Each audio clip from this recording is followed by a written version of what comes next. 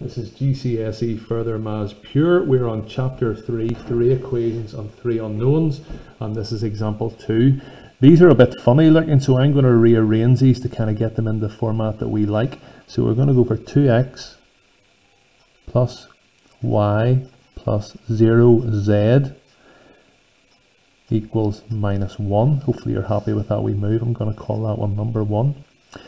This one here we're going to go for 0x plus 3y minus z equals 4.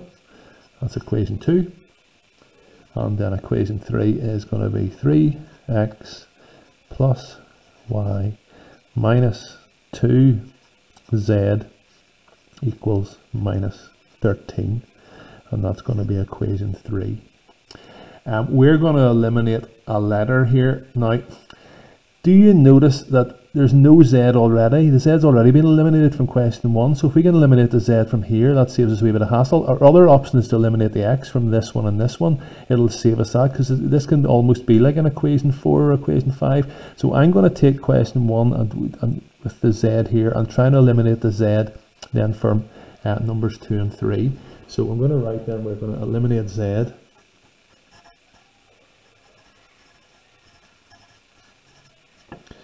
So how are we going to do this? We're going to multiply this one then by 2. So it's going to be 2 times by 2. And then we're going to subtract number 3. So number 2 times by 2 is 0x plus 6y minus 2z equals 8. Then we have 3x plus y minus 2z equals minus 13.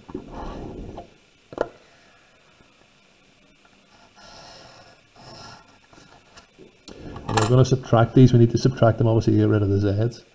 So we are going to go for this, take away this. So that's minus 3x. This take away this plus 5y. This take away this disappears. Careful here, 8 minus minus 13 gives us 21. And that is going to be our equation 4. So we have an equation now with x and y in it. And note equation 1 just has x and y in it as well. So we can just kind of use those ones.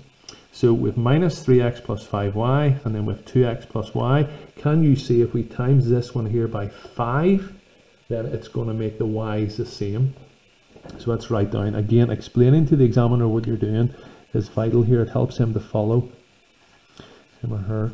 Um, take away number 4. So 1 times 5 um, our equation 1 then is going to be 10x plus 5y equals minus 5. And this one here, minus 3x plus 5y equals 21. And we're going to subtract those two.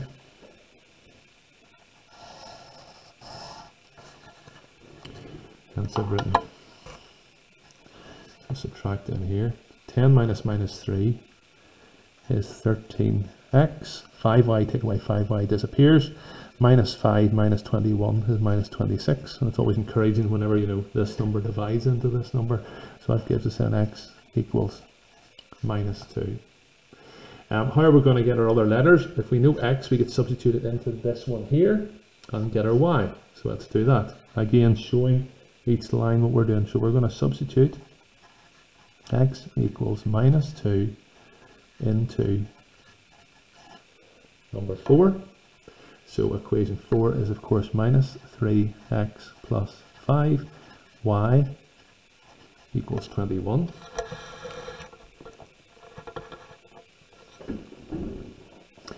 Um, so that's minus 3 upon minus 2 because that's what we just worked out plus 5y is 21 that gives me 6 plus 5y is 21. Obviously then 5y is 15 and y equals 3. We then need to pick one of the equations. You could do it a couple of different ways, but uh, let's substitute it into number 2 to work out then. We have our x, we have our y, and we need our z. So we're going to substitute x equals minus 2 and y equals 3 into equation 2. Equation 2 is 3y minus z equals 4. Of course, there is no x, but here, so we're not really substituting the x, but it's just standard here. So 3y's are going to be 3 upon 3 minus z equals 4. 9 minus z equals 4. I would do a wee bit of rearranging. I would add z to both sides here and then take away 4. Uh, but either way, I hope you're happy that we have then z equals 5. Just then a wee check at the end again to make sure we're we've got the right number. So check them with one of the different equations. So we have 3x plus y minus 2z is minus 13. We hope, let's check and see if we're right.